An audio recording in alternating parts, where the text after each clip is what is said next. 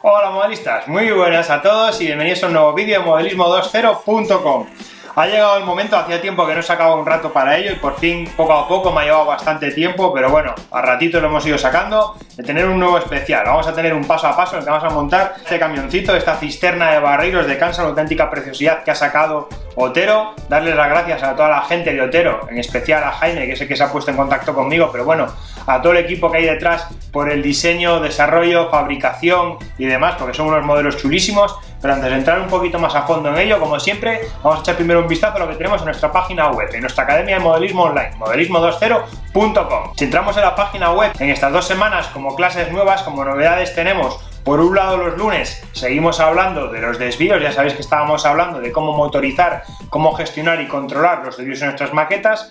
Hemos terminado de hablar de las bobinas, porque las bobinas dan para mucho, pues hemos tenido una última clase de las bobinas las que hemos hablado de las unidades de descarga, las CDUs, así de esa manera, mediante condensadores u opciones comerciales podemos gestionar nuestras bobinas y reducir en consumo, cosa que es muy interesante porque algunas de las bobinas gastan muchísimo, pero de todo eso y muy a fondo hablamos en la clase.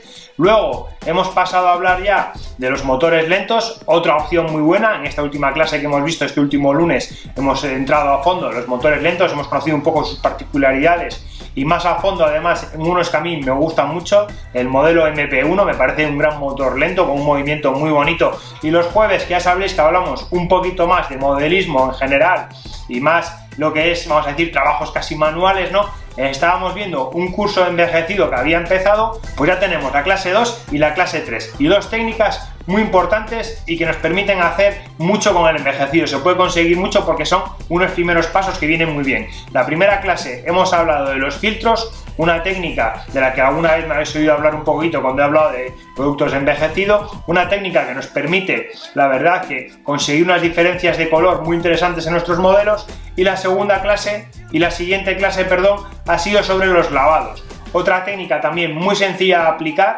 muy fácil y que consigue también eh, generar esa sensación de volumen, de marcar un poco el relieve y demás y que te hace ya que tu modelo tenga interés, ¿no? que, que gane en riqueza, que al final lo que se trata con el envejecido, no solo de imitar un aspecto, de imitar la realidad y conseguir ese aspecto eh, de que nuestro modelo ha pasado el tiempo, la intemperie y demás, sino también un poco a veces resalzar los colores, resalzar un poco el modelo y sus formas. Así que eso es un poquito que tenemos en nuestra academia. Y hoy vamos a dedicar el vídeo a hablar de este modelo. Vamos a ver su montaje, mejor dicho. Eh, un modelo muy bonito de barreiros a escala 1.87, ya he dicho antes que la casa Otero eh, ya sabéis que saca modelos en kit, saca también modelos ya montados, tiene modelos a 1.87 y creo que a 1.43 es la otra, no estoy ahora seguro del todo, pero bueno, yo en mi caso 1.87 es la que más hago.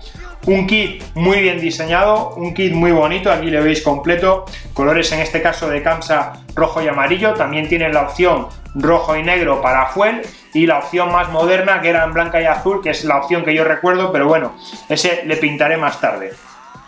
Dar las gracias, lo he dicho antes y vuelvo a repetir a la gente de Otero porque me ha mandado este kit para montar, cosa que se agradece, que, alguien pues confíe en ti, te apoye y te diga, oye, mira, te mando un kit, le montas, enseñas en YouTube y así, pues oye, le disfrutas y además lo compartes. Así que darles, repito por tercera vez, darle las gracias. Un kit yo creo que es muy sencillo de montar, están muy bien diseñados. Si hay que ponerles un pequeño pero, porque siempre a veces hay que poner una puntillita a los señores de por favor, poner tres, tres limpiaparabrisas, no pongáis dos, porque ah, siempre o casi siempre se suele ir alguno, le sueles encontrar, pues esta vez no lo he encontrado, he tenido que recurrir al kit de un amigo que me ha dejado un limpiaparabrisas suyo y luego a ver cómo solucionamos el problema. Pero bueno, un limpiaparabrisas de más en los kits, por esos piezas rebeldes que a veces se van con las pinzas, igual que ponen doble pieza los cristales o los vacuformes que son delicados de cortar, pues algún pequeño repuesto. Pero bueno, un pequeño matiz, un casi un chiste. El kit es muy bueno, se monta muy bien, el resultado cuando está pintado ya veis que queda muy chulo. Yo creo que lo mejor de todo ya es empezar con el vídeo, ir viendo el paso a paso, que veáis cómo se monta y cómo le terminamos hasta aquí y que lo disfrutéis. Así que nada, muchísimas gracias y os dejo con el vídeo.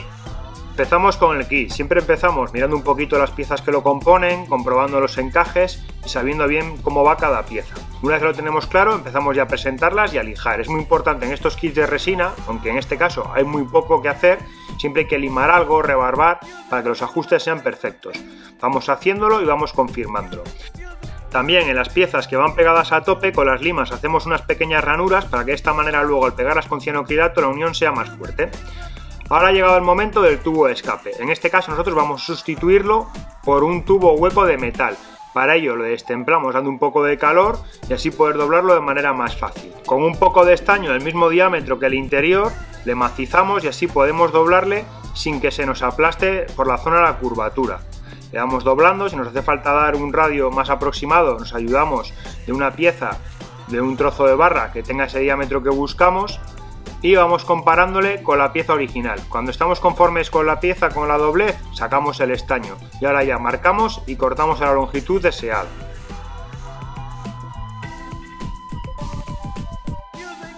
Mejoras como esta del tubo de escape son sencillas de hacer y la verdad que quedan muy bien. Siempre queda mejor una pieza hueca con una sección de pared muy fina que una pieza maciza. Ahí se está viendo la comparación.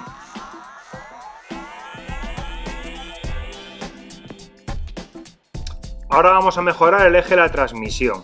Cuando vamos a pegar las piezas nos damos cuenta que tiene por debajo un pequeño soporte de resina y nosotros lo que vamos a hacer es eliminarlo. Para ello hay que hacer primero unos taladros y así poder fortalecer la unión. Lo hacemos tanto en el eje como en el diferencial. Hacemos dos taladros de un milímetro con mucho cuidado y luego metemos una barra de latón del mismo diámetro. De esta manera, cuando podamos retirar ese soporte, va a quedar mucho más firme, no va a estar la barra de transmisión tan débil en el aire. Una vez que ya lo tenemos fortalecido, podemos retirar todo ese soporte. Con una sierra pequeñita de las que venden para resina de modelismo, lo vamos quitando poco a poco.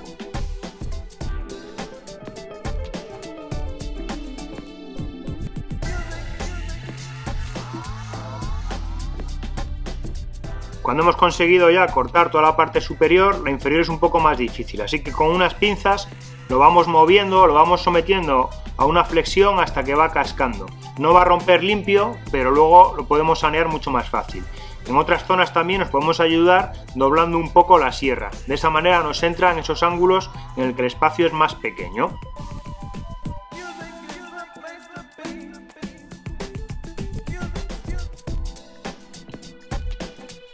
Una vez que hemos eliminado ya todo el soporte, vamos a limpiar un poco la rebaba que ha quedado abajo. Lo hemos arrancado por rotura abajo, por lo cual queda un poquito de restos. Con un formón poco a poco lo vamos comiendo.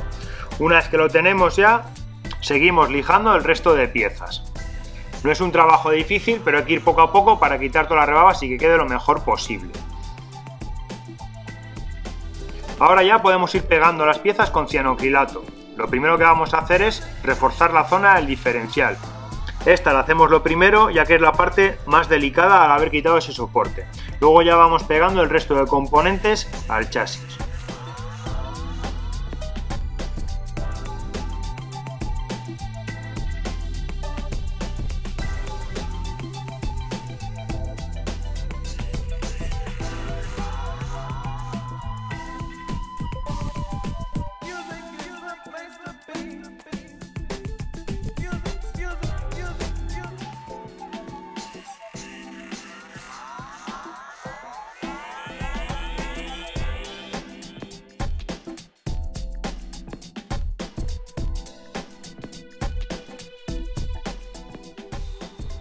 Hemos ido pegando ya la caja de las baterías, depósito, los calderines y demás, y si nos fijamos hemos dejado alguna pieza, como por ejemplo la rueda de repuesto, por separado, ya que esa hay que pintarla luego.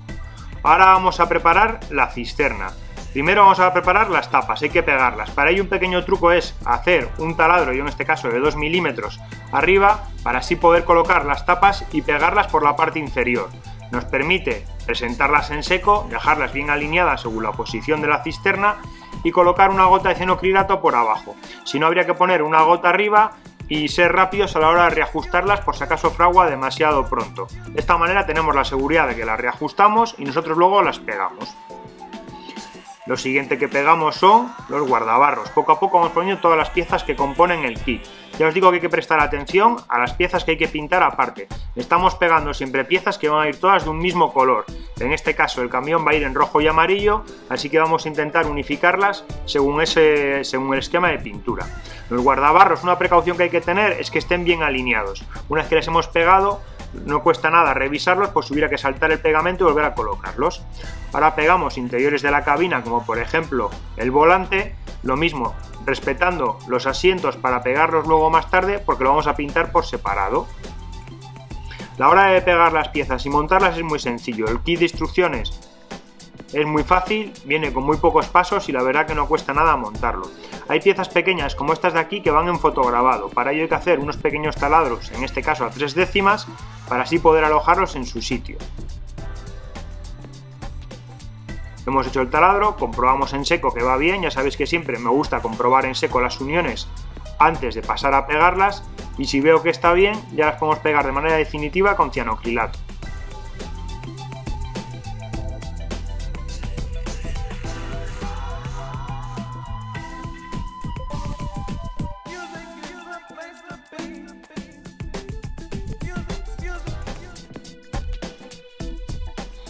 Una vez que tenemos todas las piezas ya pegadas y agrupadas por colores, las preparamos unos soportes y podemos ir a la cabina de pintura. Los soportes son importantes para poder manipularlas durante todo el proceso de imprimación, pintura o incluso barnizado, dependiendo de las piezas. Ahí las tenemos ya todas colocadas y separadas por colores. Vamos a dar imprimación blanca, ya que hay que pintar en amarillo y en rojo sobre imprimación blanca, siempre va a resaltar mucho más estos colores y van a quedar más vivos. Para algunas piezas como los neumáticos, los interiores de la cabina y demás, vamos a dar la imprimación de color negro.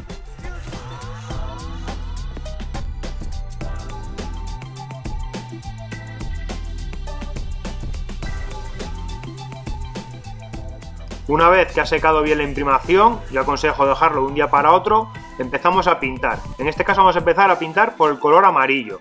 Hay que dar varias manos, es aconsejable dar varias manos finas e ir poco a poco insistiendo. Es un color que no cubre excesivamente bien, por lo cual tampoco hay que encharcar los detalles y es preferible dar dos o tres, incluso cuatro manos finas que una mano gorda y que nos pueda tapar detalles que tiene este kit, la verdad que muy finos y muy bien hechos.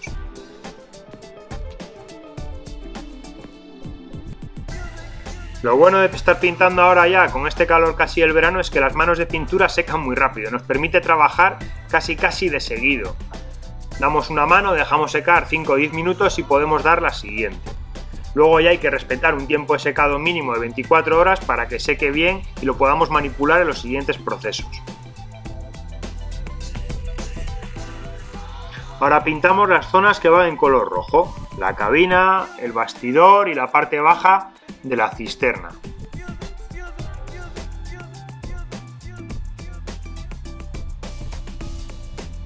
Una vez que lo tenemos ya pintado, hemos dejado secar, vamos a pintar los detalles que hay que hacer a mano. En este caso, por ejemplo, los guardabarros de la cabina que van en negro. Para ello me ayuda un poquito de cinta de enmascarar, de cinta de tamilla, así es mucho más fácil pintar sin miedo a salirse.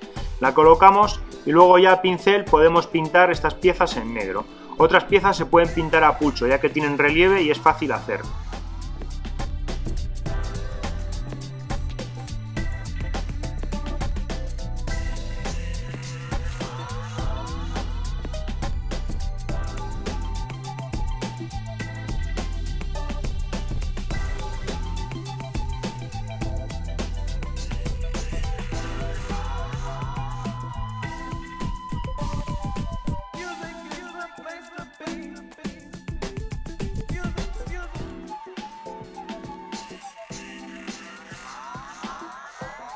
El siguiente detalle que vamos a pintar son los burletes o las juntas de los cristales que también van en negro, simulando esa goma.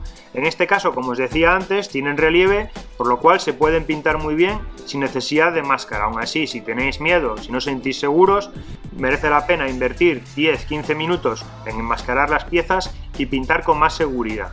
Pero yo la verdad que lo hago muy cómodo trabajando a pulso.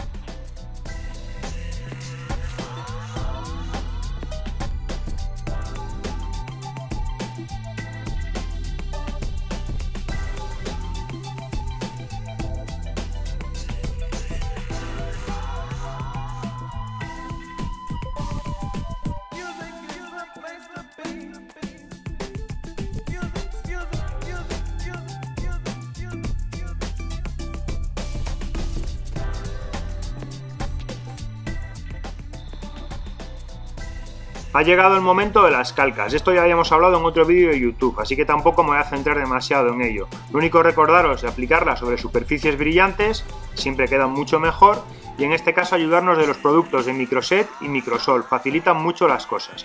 En este tipo de calcas que son grandes, hay que prestar especial atención a que no queden burbujas debajo de ellas y que queden bien integradas hay que dedicar tiempo y mimo a que queden bien, pero luego el resultado es muy bueno y quedan muy bonitas. Ya tenemos puestas la calca de la virola de la cisterna y ahora vamos a las de los laterales. Son unas calcas grandes y que prestar atención no solamente a que queden bien, sino a que estén las dos distribuidas exactamente iguales. Tener referencias para la altura a la que van de la cuba, a la distancia de las virolas y que queden bien. Poco a poco las vamos trabajando. Con el pincel vamos sacando las burbujas, las vamos estirando y nos vamos preocupando que se adapten bien a los nervios de la cisterna. En este caso me ayuda un pincel plano para poder sacar bien todos los excesos y que se nos adapten. Las vamos retirando el exceso de humedad a medida que están en su sitio definitivo Luego ya las dejamos secar y más tarde las aplicaremos el microsol. Este producto facilita mucho que la calca acabe de adaptarse a todas las formas que tiene nuestro modelo.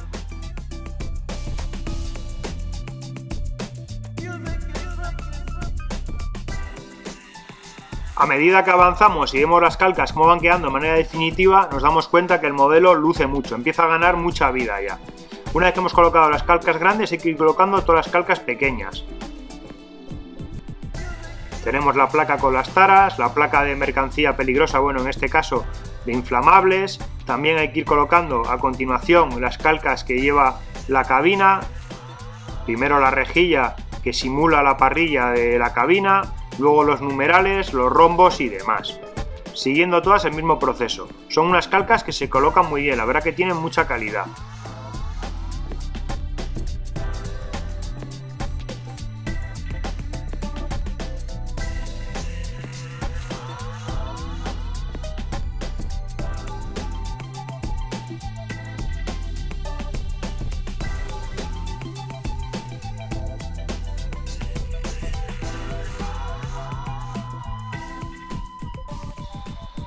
Algunas partes de la cabina hay que prestar especial atención a adaptar bien la calca. Una vez que está todo colocado, vemos que el resultado es muy bueno. La verdad que merece la pena todo el trabajo que está llevando. Ahora vamos a acabar de pintar el interior de la cabina. En este caso le dimos una imprimación negra, pero el interior vamos a simular la tapicería de color gris, así que con un pincel y un gris cielo lo pintamos de manera rápida. También hay que pintar otros detalles como por ejemplo las baterías que van en color negro, o la zona del tubo de escape que también la vamos a pintar en tonos negros.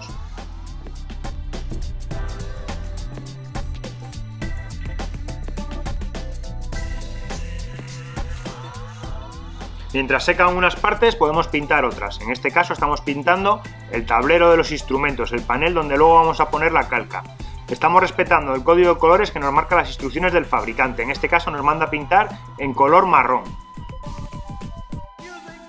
Una vez que ha secado podemos poner ya la calca que simula los indicadores y los relojes de revoluciones, velocidad y demás. La trabajamos como todas las demás calcas, con microset y con microsol. Lo siguiente ya es pegar los asientos. Para ello utilizamos unas gotitas de cianocrilato y los posicionamos en su sitio. Ahora vamos a preparar los cristales. Los cristales son un vacuoforme. Acordaros que estos cristales los hemos trabajado también en otros modelos, como el Barreiros que hicimos hace tiempo, y también en la furgoneta, quiero recordar que era la Saba, por lo cual hay que cortarles con cuidado, procurar ajustarles para que queden bien, les comprobamos en seco siempre. De todos modos, el fabricante manda dos juegos de cada cristal por si alguno se nos estropea. Y una vez que vemos que encaja bien, lo pegamos utilizando microcrystal clear. También valdría algún otro tipo de pegamento vinílico o incluso cola blanca, que al secarse quedan transparentes y no queda ningún resto. De esta manera vamos cortando y pegando todos los cristales. El resultado, una vez que están pegados, la verdad que es muy bueno, ya que tienen relieve, por lo cual quedan enrasados en la parte de fuera. Ahí estáis viendo la parte de atrás, vamos haciendo los laterales y luego ya la luna delantera.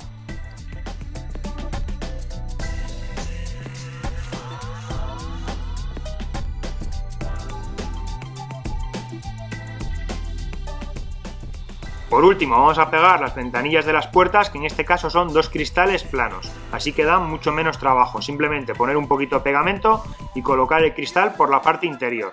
Ahí le tenemos. Y ahora ya colocamos el último y con eso ya tenemos todos los cristales de nuestra cabina colocados. Ya empieza a lucir cada vez más. Cada detalle que se añade luce mucho más. De la que han secado, las calcas las hemos dejado secar después de haber trabajado con ellas bien y para acabar de integrarlas y que queden bien protegidas le vamos a dar una mano de barniz brillante. Ahora vamos a ir pintando pequeños detalles, en este caso son los pilotos. Primero les vamos a dar una base de plata y luego ya al final del trabajo les vamos a dar el color definitivo.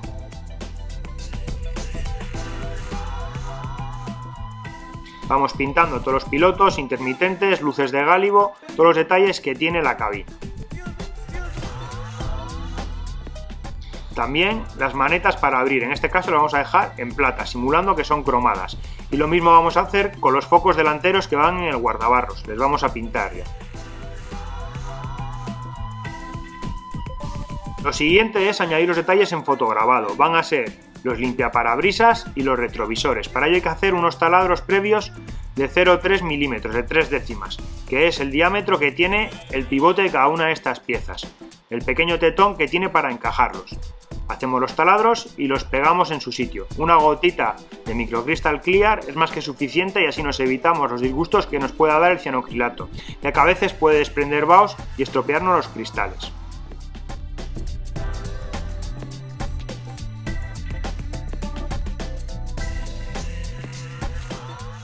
Una vez que tenemos todos los detalles de la cabina pegada, la podemos pegar a ella ya al resto del bastidor. Una gota de cianocrilato, presionamos en el sitio y la tenemos lista. Ahí está Acabamos de añadir detalles que había que haber pintado separados, como por ejemplo la rueda de repuesto, también con una gotita de cianocrilato, y ahora vamos a pegar el guardabarros delantero. Lo mismo, un poco de ciano, le presentamos en el sitio y le pegamos. Vamos a ir preparando ahora las llantas. Habíamos pintado las ruedas de negro para quitarles ese negro brillante que tenía el plástico y ahora con un poco de ciano les vamos pegando las llantas. Luego ya pasamos los ejes por su sitio y las vamos encajando. Estas no las he pegado ya que entran bastante bien a presión y quedan firmes. Si veis que quedan sueltas, una gotita, por ejemplo, de cola blanca o de microcrystal clear, os deja trabajar con ellas y luego cuando seque quedan bien pegadas. Ponemos primero las ruedas y luego la parte baja de la cuba, ya que de esta manera la rueda nos va a ayudar a indicarnos si están bien centradas luego la parte baja de la cuba con sus guardabarros. Para pegar esta parte de la cuba ponemos 3 o 4 gotas de cianocrilato a lo largo del bastidor y la posicionamos en su sitio. La movemos un poquito para que haga ventosa y pegue bien el ciano, la presionamos y dejamos que frague bien. Esperamos un poco el tiempo de fraguado, unos 15-20 minutos, que con menos está bien pegado, pero así nos aseguramos que no hay ningún problema. Ahora que hemos añadido estos detalles y les hemos ido pegando, ponemos las calcas que le faltan. En este caso van a ser las matrículas y las placas de servicio público, tanto las delanteras como las traseras.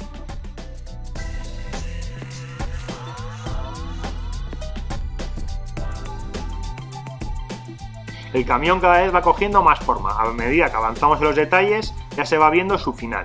Ahora vamos a colocar la cuba. Primero la presentamos en seco para asegurarnos que queda bien y si vemos que es así, volvemos a trabajar en este caso con microcrystal clear. Le utilizo preferiblemente frente al cianocrilato en estos casos porque sé que no me va a desprender ningún bao que me pueda estropear la pintura y porque además si me he confundido en algo tengo tiempo de sobra para poder quitarlo y reposicionarlo. Pegamos la cisterna y esperamos que seque hasta mañana. Vamos a dejarla 24 horas para que el microcristal clear seque bien. Al día siguiente vamos añadiendo ya los últimos detalles. Por ejemplo, los pilotos traseros que son rojos, les habíamos pintado en plata y ahora les vamos a dar un rojo traslúcido de tamilla. También los intermitentes los hemos pintado con una base plata y vamos a pintarles de naranja.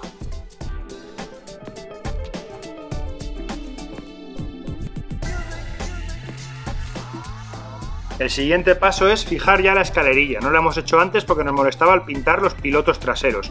Para pegarla utilizo microcrystal clear. Igual es que os he comentado antes, no me quiero arriesgar con los vapores del cianocrilato y prefiero utilizar un pegamento que al secar queda transparente. Otro detalle que faltaba añadir es la pequeña banderilla roja que lleva arriba la cisterna. Un detalle que queda muy bien, es muy fino, pero aconsejo ponerle al final porque también es muy delicado. Con esto ya prácticamente tenemos nuestro camión terminado. Lo último último que quiero hacer para que tenga un poquito más de brillo y quede mejor es pintar los focos principales con una pequeña gota de barniz brillante. Así queda mejor que el plata y además si damos una gotita un poco gorda conseguimos generar un poco de volumen para que simule la óptica. Así que ya con esto sí que hemos terminado el barreiros, solo queda dejarle bien que seque y que luzca nuestra maqueta, nuestra vitrina donde nos apetezca. Es una pieza muy bonita y que resalta un montón con estos colores de Kamsa.